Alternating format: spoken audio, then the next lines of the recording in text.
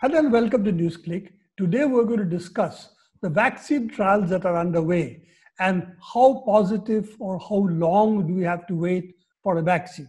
Both these questions, Satyajit, are really yours because the immune system is what you're specialized on. So this is really up your alley. Though of course, a lot of things else are also up your alley. Now, the vaccine trials are on. And while we have heard a lot about the Moderna trials, we don't seem to have heard as much about the other trials underway. So can you give us a brief background of the trials and which phase we are at the moment on? Some to be have seem to have also entered the human trials. So this is, in a sense, let me make a splashy statement. For the first time in human history, we are simultaneously making vaccines by the oldest and by the newest possible methodologies all at the same time. So, um, so what is the oldest possible methodology?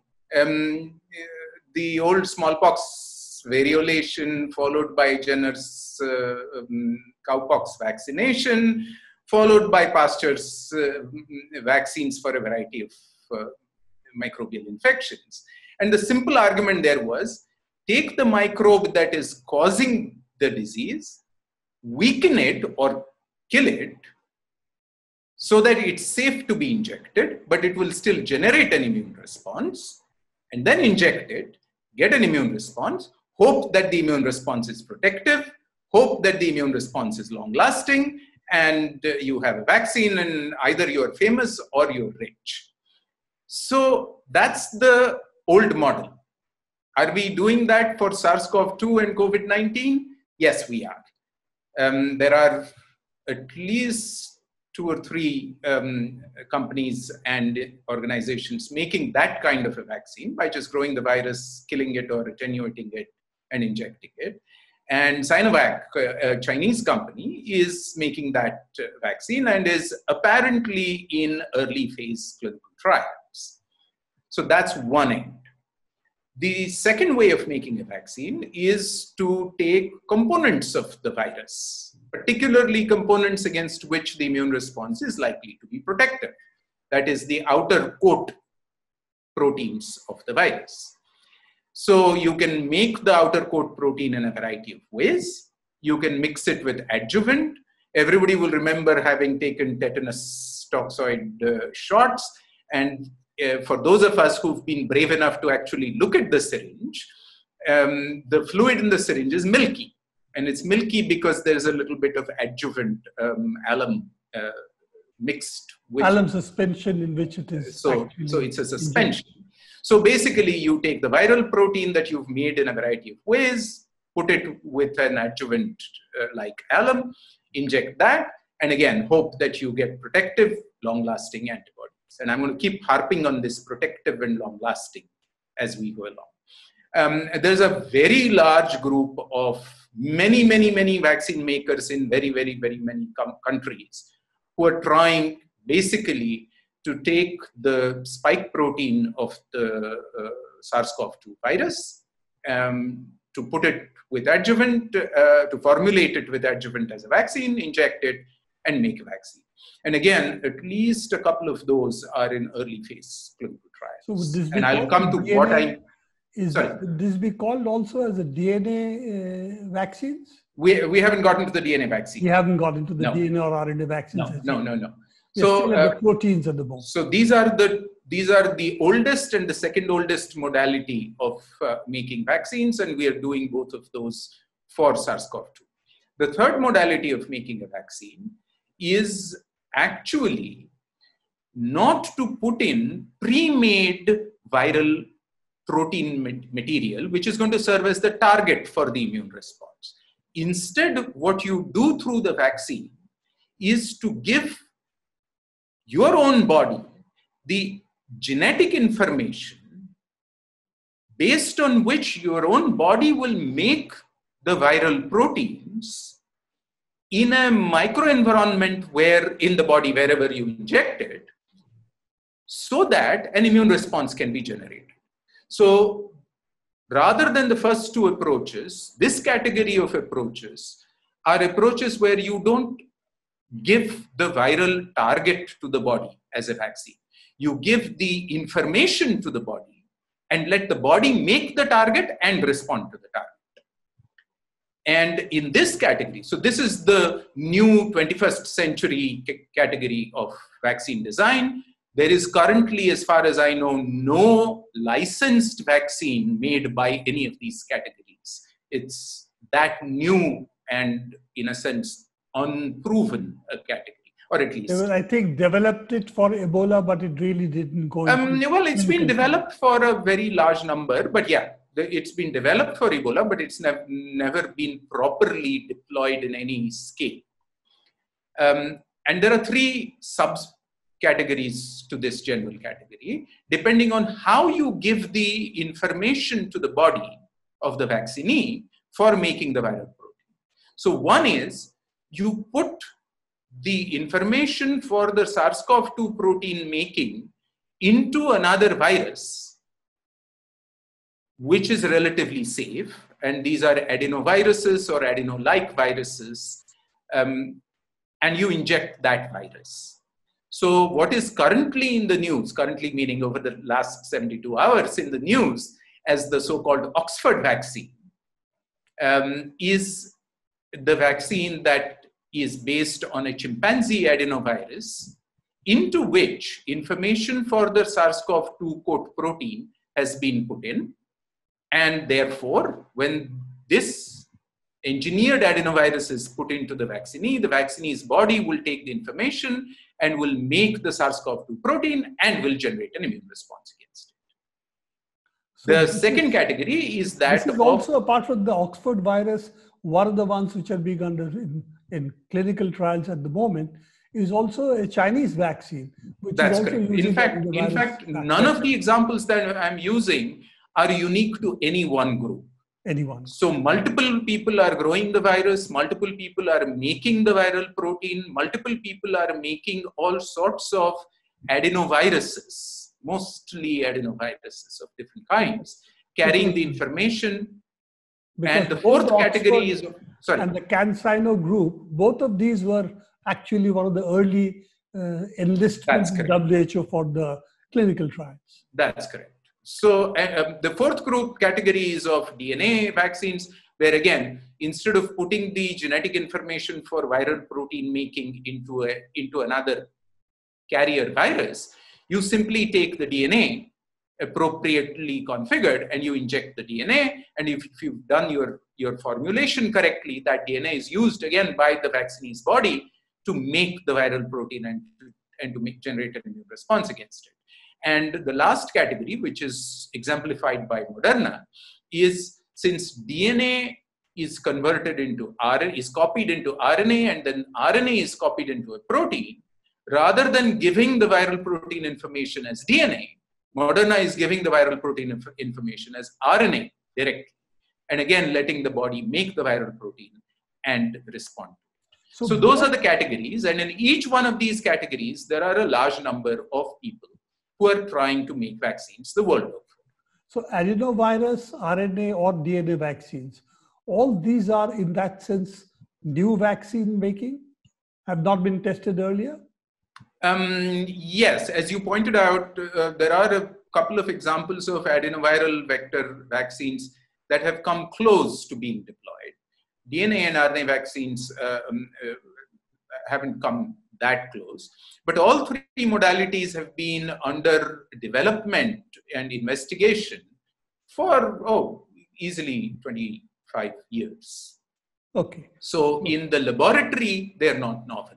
As a matter of fact, None of these approaches is particularly novel because many of them are simply repurposed from um, earlier candidate vaccines that uh, uh, went a certain distance and then didn't go further because there didn't seem to be any demand for them um, and have simply been repurposed for. Uh, they originally started with SARS as the target.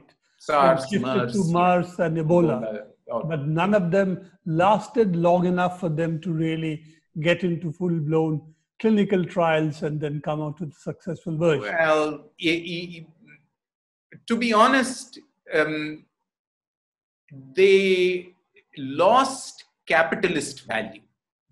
Lost capitalist value. And therefore did not go further. And I would insist on that rather than saying that they lost societal value. I don't think they lost societal value, but what they did lose was what I'm uh, in fact, calling capitalist value. Follow, in fact, following what on what exactly you have said, that expecting a coronavirus pandemic after SARS and MERS, this should have been funded so we are ready at least well before it hit us. So we got a 10 year, more than 10 years time for preparing ourselves, which you don't seem to have used. Well, um, okay, so so so let me do a little disagreement. Um, yes and no. Um, and the no, and my, my point of disagreement is because I think, in fact, that the actual technologies that are being deployed were, in fact, technologies that were developed and publicly funded, mind you, um, uh, with taxpayer money in pretty much every country. Um, uh, and, and, and the technologies were developed uh, in the laboratory far enough that in fact we were ready technologically, which is why all of these, in a matter of weeks, not even really too many months, have come out of the laboratory and have gone into clinical trials. What we, what I agree with uh, in your statement, and that what we have not prepared for, is the downstream. Who will manufacture it? How will we put together sufficient, accredited, safe manufacturing to scale so that we deliver the vaccine to communities across the world as they need them without forcing them to pay through their noses for it? This component of a human response to a pandemic, we have not learned at all. And okay. that's where we are going to arrive by the end of this year, where the laboratories will have done, using publicly funded uh, um, resources, what they are promising to do. And then we will begin to fall on our faces because we have not done the economics of technology dissemination.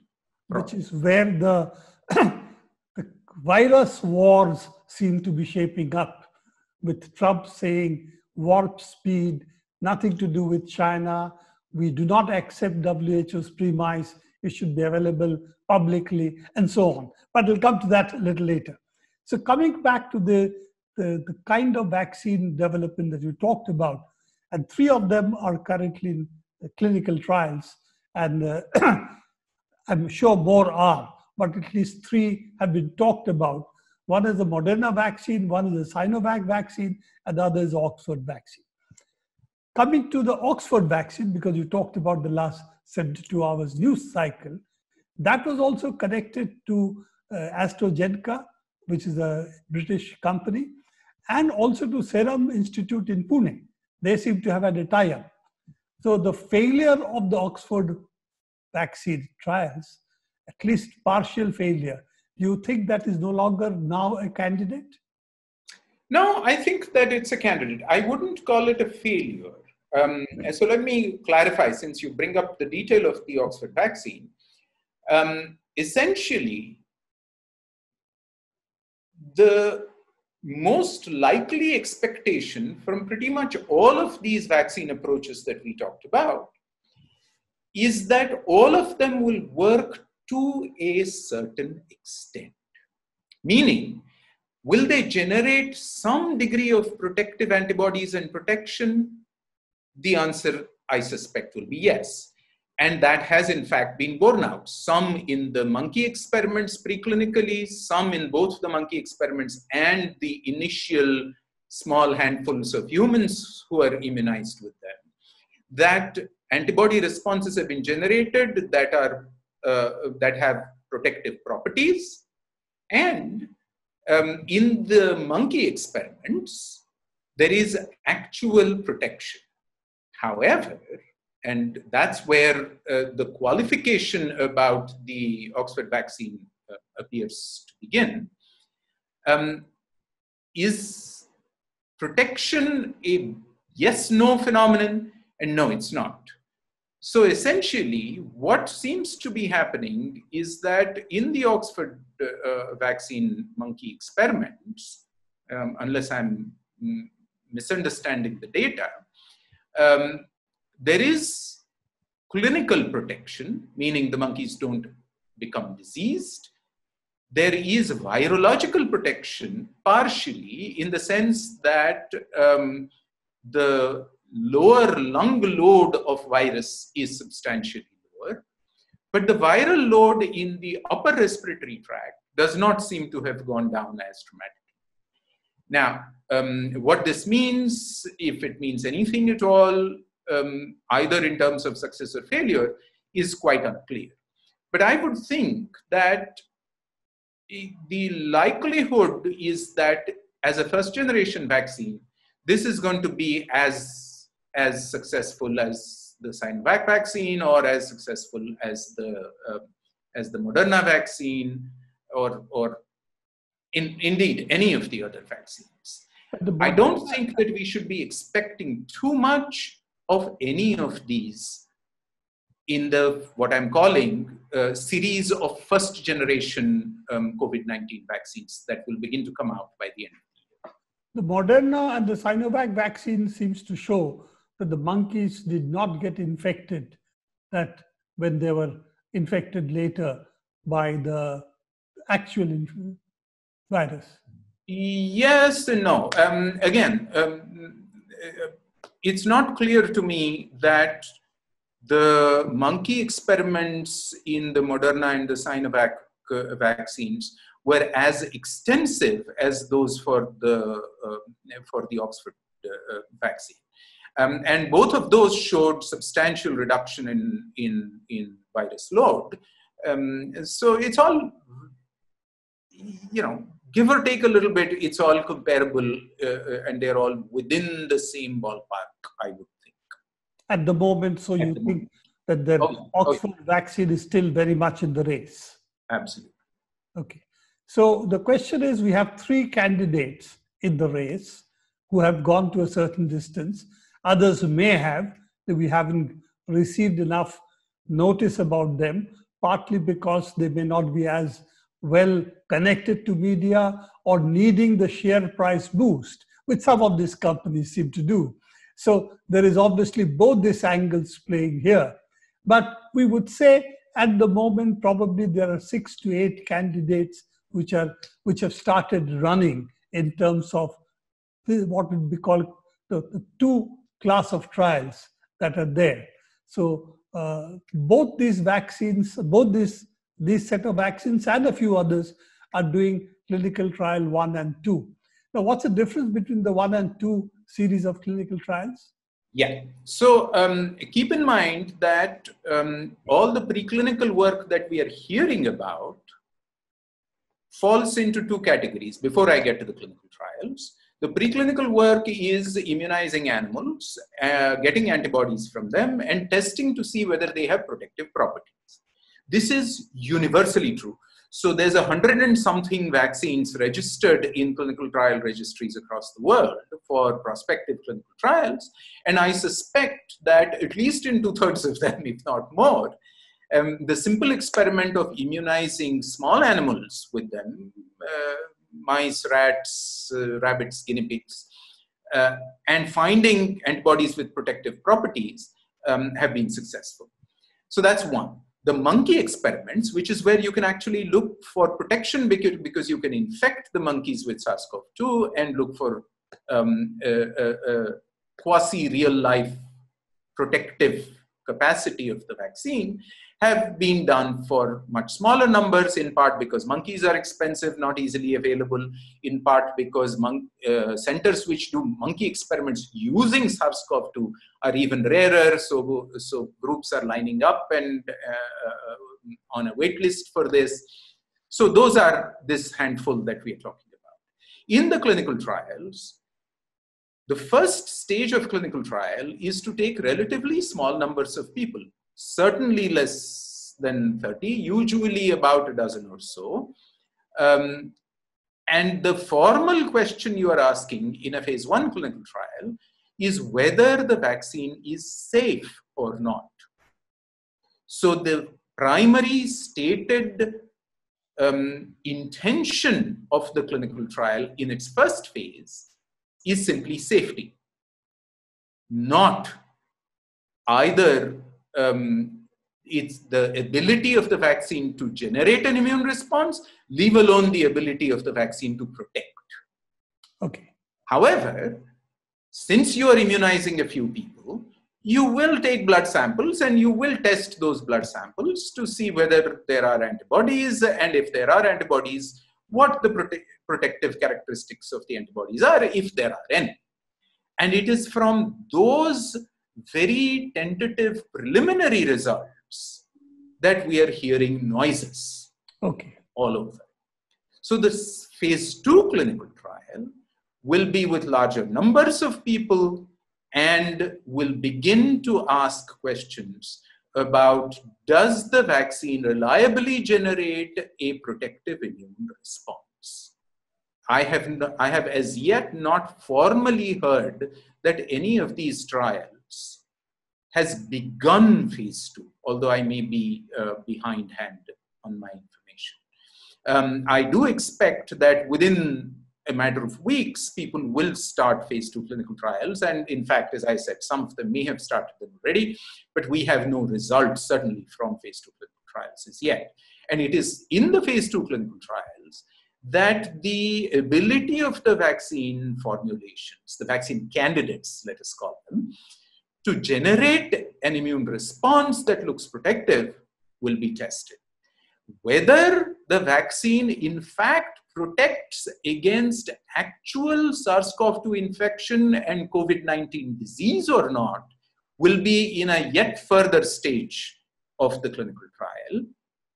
And there, depending on what the incidence of infection in the community is, very large numbers of people may have to be recruited for those trials. That's a phase three trial. That's a phase three trial. And it's in those situations, uh, it's with respect to those situations that people are now talking about controlled human infection models for rapidly validating the protective capacity, the actual protective capacity of vaccination, where you will take relatively small numbers of people vaccinate them, give them, deliberately give them infectious virus with appropriate safeguards, and therefore ask whether the vaccine protects or doesn't protect with quick, definitive results from relatively small numbers of people, but with some amount of risk. So that's the something which is new.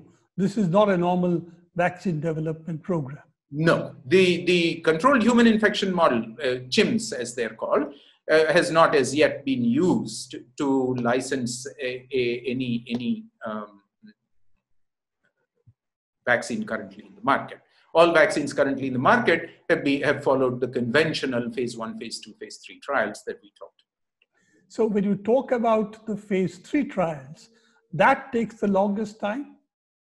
Um, it takes the longest time for a variety of reasons. Uh, large numbers of uh, people are required for statistical reliability, and you have to wait for long enough for natural infection incidents to accumulate large numbers of uh, examples of disease in both vaccinated and uh, placebo so it can be about three months, four months, six months? Oh, I can imagine that if by then across the world, uh, transmission efficiency of COVID 19 has dropped substantially, uh, phase three may take uh, um, longer than that.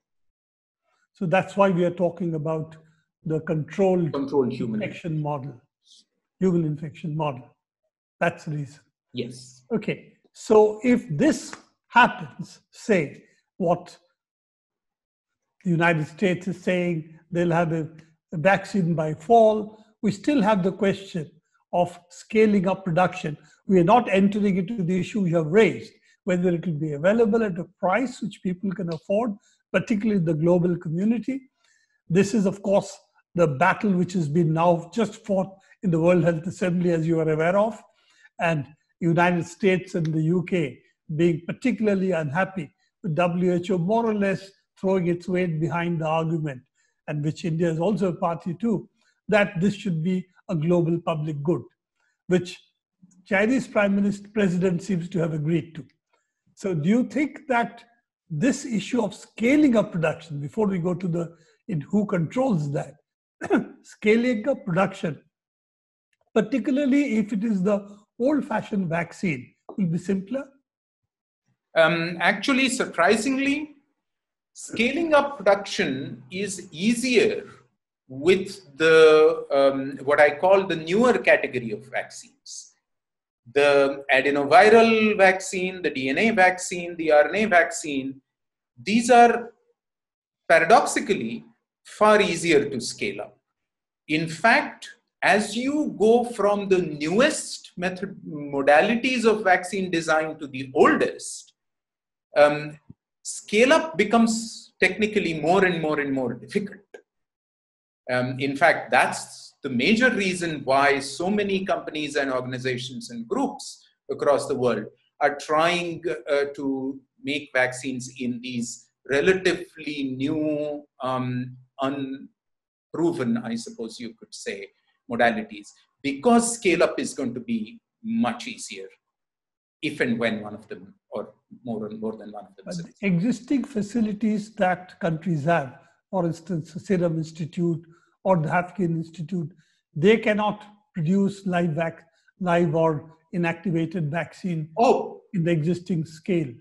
So, so none of the technologies is difficult in the sense of uh, um, uh, these biotech uh, um, uh, industrial organizations being unable to absorb the technology. It's simply that the uh, so there is a built-in limitation. How much virus can you make in one liter of tissue culture? Is limited. So it's not so much a matter of knowing how to do it. It's a matter of how many millions of liters and um, simply the physical infrastructure of scale and, and that's going to be, for example, Sinovac's problem. In, uh, sorry to interrupt, Satish. In, you have in, to build it anew. It has to be built specifically for this purpose. Existing. No, it doesn't. But uh, keep in mind that if we are talking about a global demand uh, over a very narrow window for vaccines, we are going to need more doses of vaccine per month than we have ever mm-hmm. imagined. Okay. Um, and it's in that uh, scale um, league that um, making whole virus inactivated vaccines is going to, I suspect, run into scale up difficulties. Um, and that's where the RNA and the DNA might, in fact, um, be a little easier for scale up. Okay. So, what you were saying is that in that sense, the advantage to scaling lies with the newer vaccine technologies. So it's not very surprising. Efficiencies of the newer technologies tend to be higher than the older technologies. So in a sense, in a sense, yes. Okay. So if this is successful, say in the human trials, phase three trials, and if the uh, controlled human infection strategy works. So, do you think a target of, say, fall, as the Americans say, or September, October, is realistic? Right. So, um, uh, let me say something about um, uh, benchmarking and decision making. I think it's entirely possible if the pandemic continues to um, worry the world as much as it is worrying the world currently, it's, I think it's entirely possible that uh, regulatory authorities across the world will accelerate approval processes so that with evidence of immunogenicity, meaning that the vaccine generates an immune risk, an antibody response, and that the antibody response in laboratory testing has protective properties. That much might be eventually approved as sufficient for licensing. I don't know this, but it's, it's at least possible. Beyond this, there will have to be a formal clinical trial for the infection, which would be the, uh, the orthodox way to go, or the controlled human infection. Regardless, do I think that by autumn, fall as the Americans call it, um, we are going to have a vaccine rather than a vaccine candidate? I doubt it. Um, do I think that we will get there by, say, next January or so? I think that by next January, uh, we will begin to see the first clear, unambiguous results that multiple different vaccine candidates um, do detectably well in protecting. So my guess is, I, I, suspect a little uncharacteristically, I'm being a little optimistic, but my guess still is that by um, uh, early next year, we will begin to see these data. I doubt seriously that we are going to see the unambiguous data which allow regulatory approvals by the coming autumn. Okay.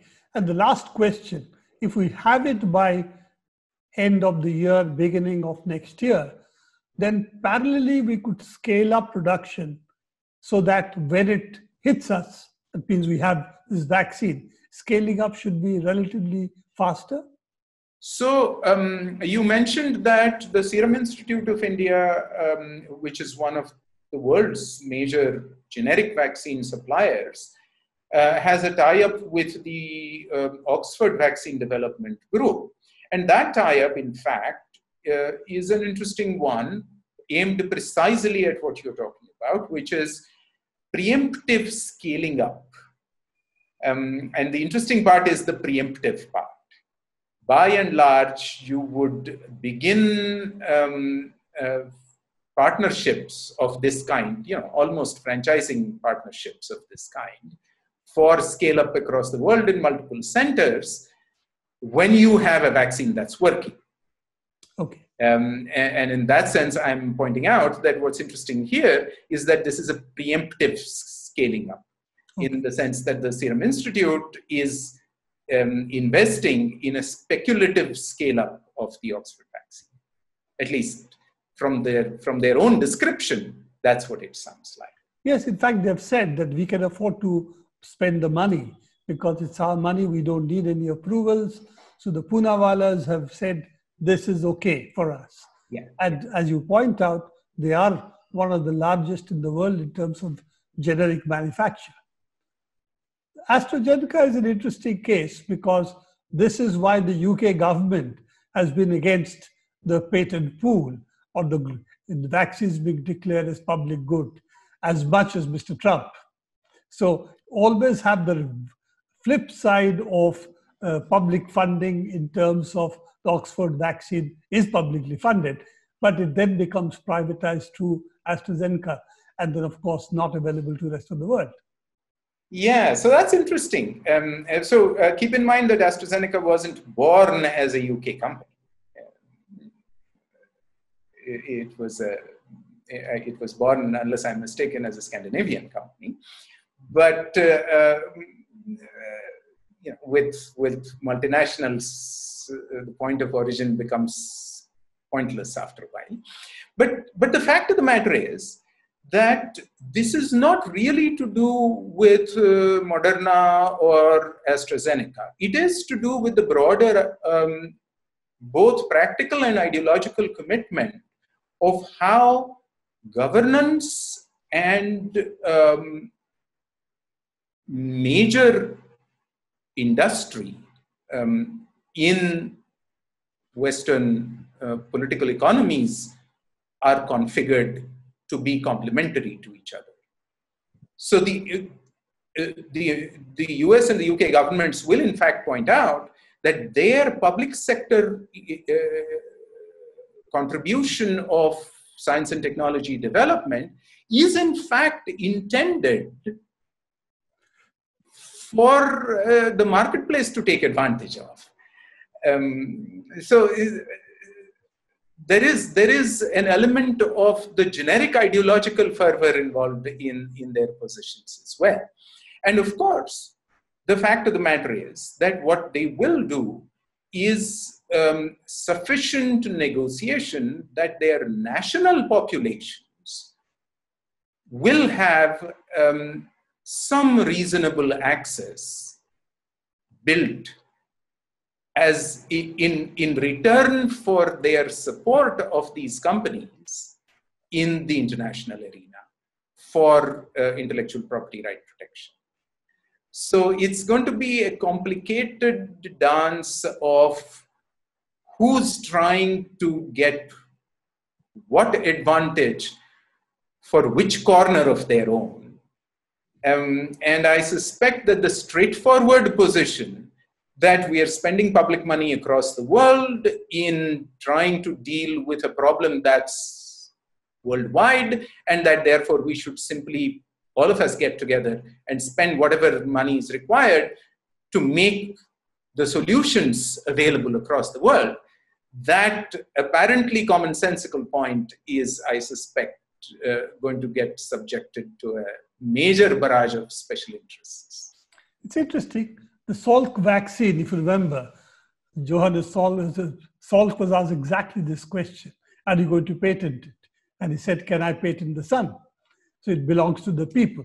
The Salks are no longer the ones who are developing. Yeah, even, vaccine. you know, banting purified insulin and. Uh, um, yes, earlier. In fact, said, same thing. That he, he sold, he gave the patent to the University of Toronto for $1 and uh, when he was asked, he said, "It's not my insulin. It's it's, it's uh, everybody's insulin." Yes, and that actually comes before Salk. So right? Um, you know there are there are different ways of looking at this. Yes, but and that's where we are going to be. Those are going to be the major wars um, in boardrooms across the world um, come next year. Yeah, and I believe, Satyajit, that this will be a repeat of the AIDS wars. And ultimately, the fact that once you know that this works, repeating it is relatively easier. And therefore, that compulsory licensing to other mechanisms will also come into play. So I don't see that this will take 10 years, which is what AIDS, back, AIDS drugs took before it became accessible to the poorer sections. I don't think it's going to be that long, but that's a hope. Let's see where it actually. I agree with you. Let me add something to what you said that may be interesting, and that is, you see, the anti-HIV, anti-AIDS uh, um, drugs were being developed in relatively small numbers of laboratories, primarily distributed in the developed. Here is an extraordinary distinction that I think we in India, and in fact, we across, let me say, the global south, should not lose sight of. And that is, we have friends and colleagues in laboratories of the global south who are making SARS-CoV-2 COVID-19 vaccine candidates using exactly the same methodologies and technologies that are being used in these other places. There are a bunch of efforts in India, for example, to make vaccines by one or the other of these methodological categories that we talked about. And my argument is that we need to be heavily supportive of these efforts because they underline a major tactical point. So, this is not about their necessarily succeeding and making great um, vaccines that will go up. I hope that they do. But it's but my support is not dependent on that. I'm arguing that we should be supportive of those because it undercuts patent claims as and when they begin to get made. Okay. And that I think is, and I'm saying this publicly, is a critical issue in underlining the point that the state of art knows how to do this the world over. Okay. And therefore, we need to be both supportive of ongoing efforts and we need to demand the poorest of us as countries need to demand hey can you support some of our scientists and technologists to try to make a vaccine candidate good so the battle continues absolutely the issue of vaccines which it did over the issue of aids. And as i said hopefully it will be much shorter. And if we strategically invest in some of the issues you were saying, some of the areas of research development, as you were saying, then we'll be in a stronger position. Thank you, Satyajit, for being with us, sharing your knowledge about a rather complicated issue which is of great interest to people as and when such pandemics or other such issues come up. This is all the time we have for NewsClick today. Do keep watching NewsClick and do come back to our, also visit our website.